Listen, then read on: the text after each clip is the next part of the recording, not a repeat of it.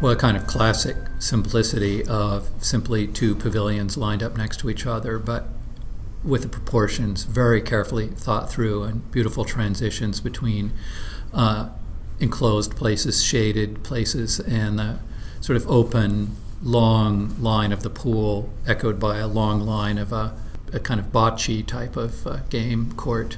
Uh, very simple, stripped down to really something very essential.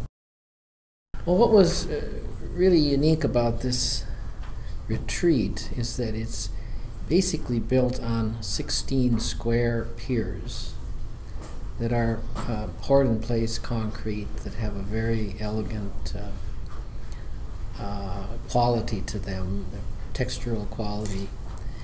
And it's really a very, very uh, classical arrangement of these, of these um, structural uh, columns that hold up a very delicate uh, structural system of aluminum and wood. And then there's this bocce ball court that is parallel to the swimming pool. And so there's this very unique uh, combination of these two sort of play areas. So you have a swimming pool and you have a bocce ball court, and they both are long elements that are juxtaposed on the site.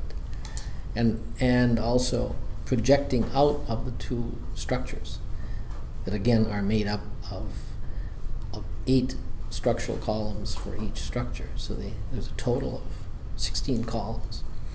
And that's the simplicity of it.